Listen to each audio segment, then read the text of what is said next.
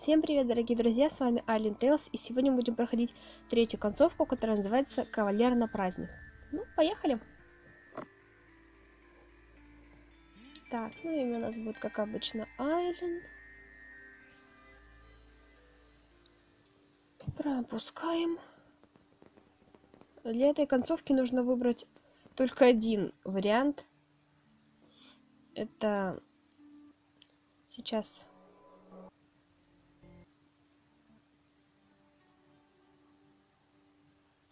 только вот один вариант, и это около Элдарии. Так вот, сердцем этого леса была старая лачуга, в которой... Стоп, стоп, стоп, ты же говорил про болото. Ну да, сейчас говорю про дом.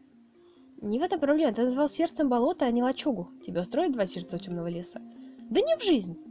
А у Невры три сердца, как бы, между прочим, сказала Зарель. Я покосилась на него с легким недоверием. Он же вампир, как и я. Э, что? Что? Ты издеваешься? Упаси оракул, я говорю истину и ничего кроме нее. Он приложил руку к сердцу и проговорил настолько серьезно, что я обомлела. Но как же, ты же эльф. А эльфы не могут быть вампирами? Могут, наверное. Валькион вообще овца. Пожал зарыль плечами. У меня разболелась голова, и я начала массировать пальцем виски. То есть, если я правильно поняла, ты эльф-вампир с тремя сердцами, как и Невра, только он не эльф, а Валькион вообще овца? Именно. Что тебя так удивляет? Скажи еще, что всегда думала, будто у нас одно сердце. По закону анатомии должно быть именно в одном экземпляре. Фу, наивная. Как ты думаешь, почему мы бессмертны? Из-за наличия трех сердец? В точку. А ты не так глупа, как я полагал. Я была настолько удивлена репликой Зарели, что мне показалось, будто я упустила что-то важное. Вскоре он встал и подошел к двери. Эльф жестом приказал мне не шевелиться и молчать. Конечно же, я его послушала, ведь лицо Зареля было необычайно сосредоточенным. На секунду мне стало не по себе, когда парень застыл возле двери, словно изваяние. Он молчал, и тихие выдохи были громче чего-либо.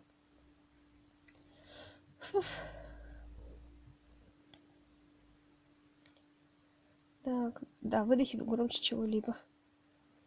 Затем он резко раскрыл дверь, и на пол лаборатории ввалился Невра. Судя по удивленному лицу, лидер тени не ожидал, что его раскроют. Поэтому глаза его бегали по комнате в поисках спасения, а на губах лежала глупая улыбка. Да, он прям улыбается. Невра, что ты делаешь под моей дверью? Подслушивал.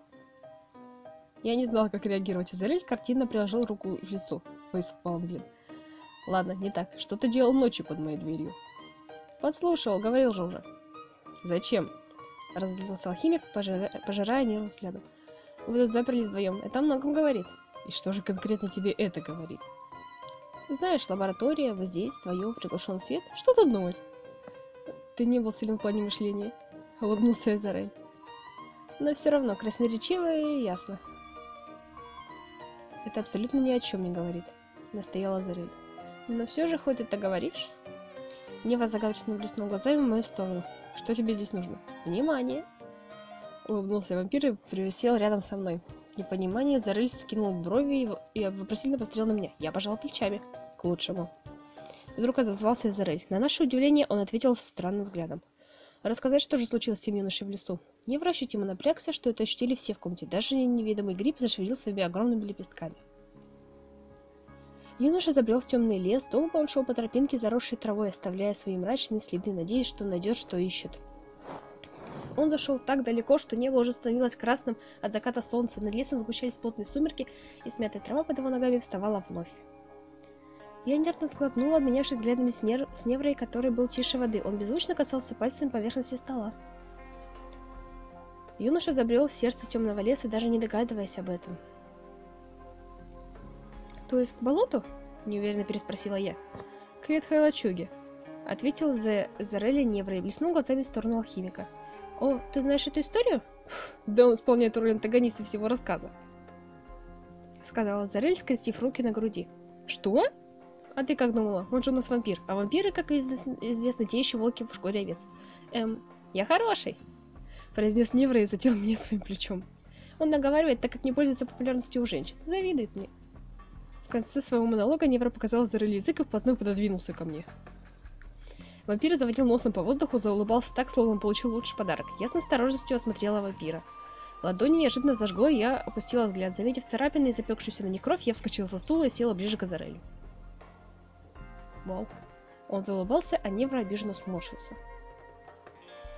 Ночь быстро окутала лес темным покрывалом. Лесная глушь сопровождалась безлунной тьмой. Тишина леса была настолько зловещей, что в сердце парня закрался страх, который принимал его в свои острые объятия. Я почувствовала себе пристальный взгляд Невры, в котором прослеживался блеск, не символизировавший его заинтересованность во мне. Это был взгляд хищника, который гипнотизировал свою жертву, пытаясь ее обездвижить. Его загорел странный свет, словно Невра был опьянен. Его присутствие ощущалось настолько тягостно, что я попыталась поискать помощи у Эзареля, но наткнулась на пылающий и крайне негодующий взгляд эльфа, который был направлен в сторону вампира, и решила ничего не говорить, так как эльф вмешался без моей просьбы. О, задумался. Невра почесал затылок и отвел свой взгляд, направив его на Эзареля. Итак, как правильно ответил Невра, юноша, опоясанный страхом, остановился возле ветхой лачуги. Он испуганно и робко постучал двумя костяшками пальцев по облезлой двери, отчего занозы впились в его кожу, и она начала кровоточить. С каждым постукиванием юноша терял надежду и сам не заметил, как стал долбить его двери не только руками, но и ногами. Невра усмехнулся и убрал руку с поверхности стола. Вскоре дверь распахнулась. Эзарель выдержал долгую паузу, чтобы мы прочувствовались атмосферой. Я, скрывая дрожь пальцев, усиленно сжимала их замок и искоса поглядывала на дверь.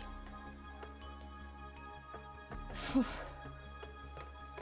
На пороге стояла высокая девушка, ее волосы были зелены и напоминали листья, когда кожа, была, кожа же была цвета дерева. Ее тело было покрыто листвой, которая отчасти скрывала наготу незнакомки. Юноша растерянно улыбнулся, не зная, как объяснить свое, его присутствие. «Я бы ее съел на месте того паренька», — съез... выставил свои пять копеек Невра. «Ты бы ее не съел», — усмехнулся из-за рыли. глаза блеснули скрытым превосходством, и Невра стушевался. «Почему вы говорите загадками?» Они меня проигнорировали и устались друг на друга. Между ними можно было бы увидеть разряды молний, которые вырывались из глаз. Я попытался их успокоить, но легкий стук двери заставил меня строгнуть. Эс, Невра, Айлен, что это вы тут делаете? Взрывы фейерверка давно начались, жители устроили грандиозный праздник, а вы здесь тухнете. Лексикон. Лейфтан поддел рукой лицо, стоял, склонив голову в бок и одаривал нас улыбкой. Разве ты не должен быть в первых рядах? Спросил Эзарель, не отрывая взгляда от Невры. На дне его изумрудный глаз плескался гнев, и он был чересчур заметен. «Ха, ну я бы так и сделала, но мне нужно так, кто сопроводила бы меня». «Думаю, Айлен, я заберу тебя с собой. Ты же не против?» «Нет». Я, за... я зарделась и смущенно заерзала на стуле, не зная, куда себя деть. «Ну вот и славненько».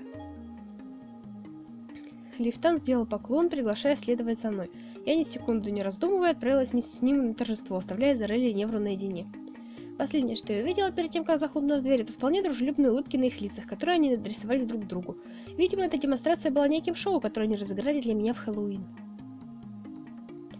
И натянутость с их лиц спала, словно хрустнула и обнажила другую личину каждого из них. Грустно лишь то, что они почти выгнали меня и, видимо, желали этого с самого начала.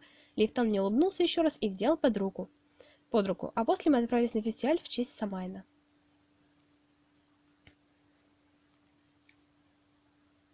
Ну вот мы получили третью концовку, а и получается первую нейтральную, кавалер на праздник. Прекрасная ночь, но ты так и не узнала финал истории. Ну что ж, всем спасибо за просмотр, ставьте лайки, подписывайтесь на канал, оставляйте комментарии. Всем пока!